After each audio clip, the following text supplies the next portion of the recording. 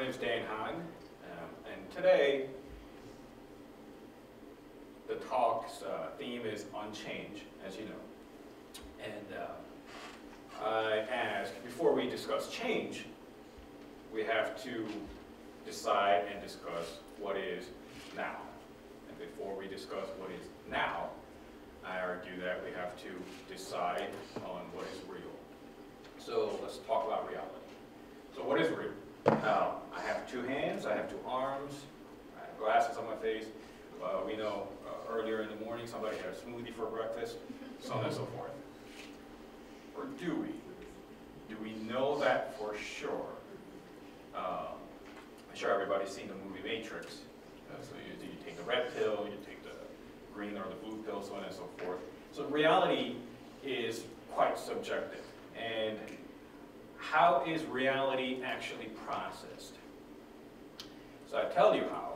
There's 86 billion neurons in the human brain. And there are 100 trillion connections through its synaptic connections. And that circuitry, there's somewhere in there uh, is a mechanism of self-perception, sense of reality, insight, and so on. 100 trillion connections. If you think about it, it's very hard to grasp. Uh, it's about a thousand times more than the amount of stars in the galaxy. So in that 100 trillion connections, we have reality. And what happens when that reality breaks? Something that we very seldom actually think about. Something that we take for granted every single day. As we wake up, we perceive and react based on what we consider to be real. What happens when that breaks? I'll give you some examples of what happens when that breaks. This is a, a case of Susan. It's a creepy little bugger there. That's not Susan, by the way. Um, so Susan is a 33-year-old woman with unremarkable baseline medical history, which is a fancy way of saying generally healthy. Um, she has uh, two children and a husband, uh, and they're doing well financially. And everything was pretty normal until all of a sudden she started having headaches, low-grade fever, uh, for a couple of weeks. And all of a sudden, as if her reality has changed, uh, she started getting very violent. She started throwing chairs at the children um, and just acting very irrational. Um, the husband was wondering, well, okay, what the hell is going on? Did I do something wrong? It, it wasn't as simple as that. Um, things progressed where she started having seizures. She started to see hallucinations, visual, and hearing them, and actually interacting with them. Uh, she's starting to see uh, the ceilings melt, tar rising from the ground, and um, she, at one point she had a delusion to a point where uh, she, she thought she needed to take individual tiles off the bathroom floor with her fingernails. And that was the only way for her to take off the tiles, like you do. Um, and the reason behind that was just as bizarre. She thought her children were trapped underneath. And as me having two hands and glasses on my face is real to me, this was incredibly real to her. In that 100 trillion connection, there was a circuit, there was a mechanism telling her and convincing her that that was real. So she did pull out the tiles, and uh, she also pulled out her fingernails uh, in the process. And she was also convinced that her teeth were invading her gums and needed to be taken out.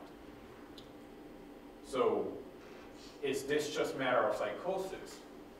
No, it turns out um, she had what we call a uh, anti-N-methyl D-aspartate receptor autoimmune encephalitis. Say that 10 times faster. Uh, and um, it, it's a process where your body's natural process of um, uh, autoimmune system uh, where, where you would actually attack a virus or an illness, what have you, starts to attack its own brain.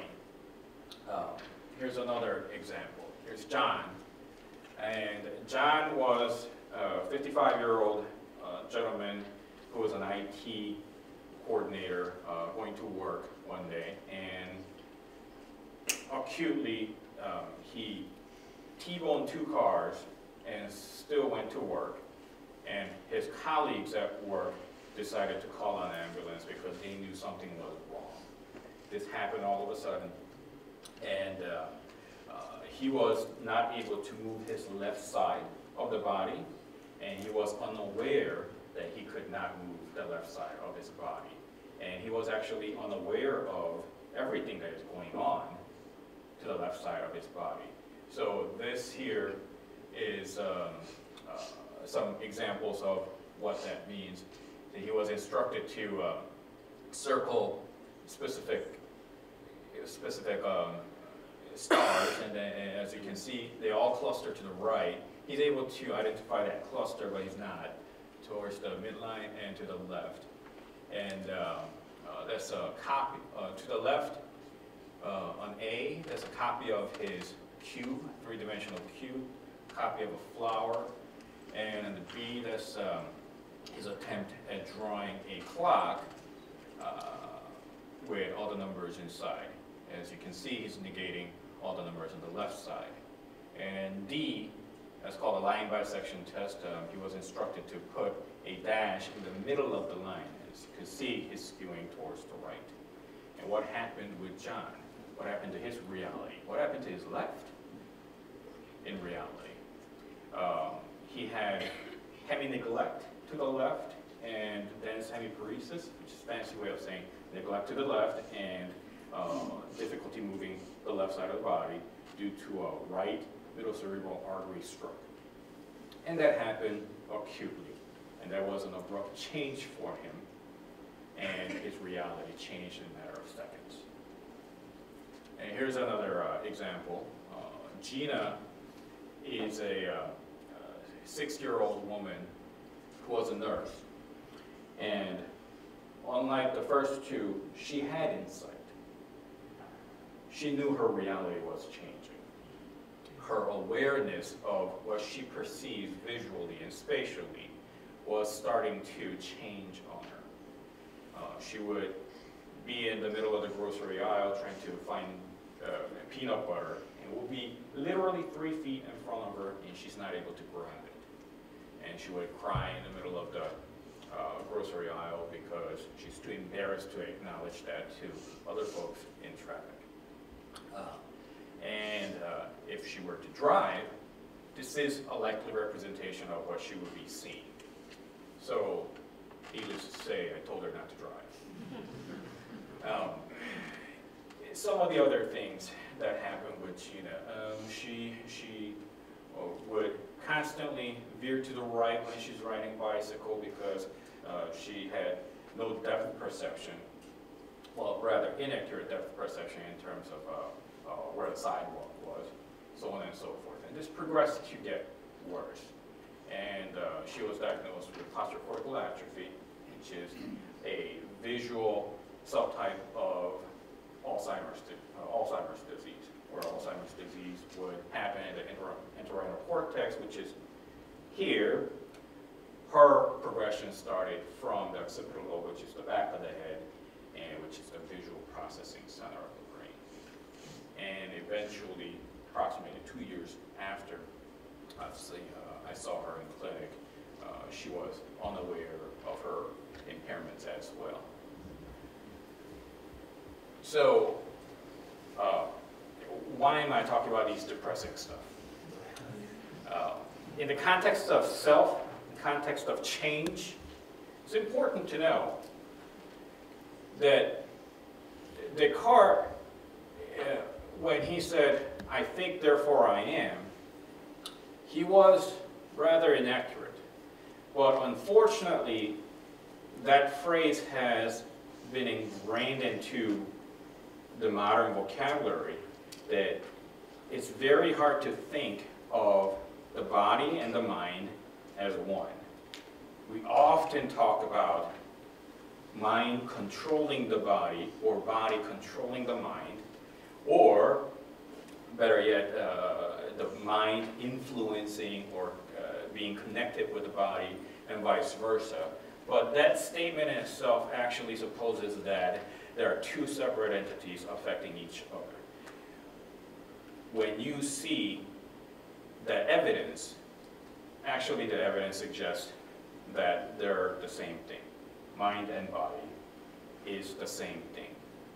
So in that, monism in neuroscience, uh, so, so when we talk about the, uh, health and uh, the brain and mind being fit, we have a nice illustration there. Um,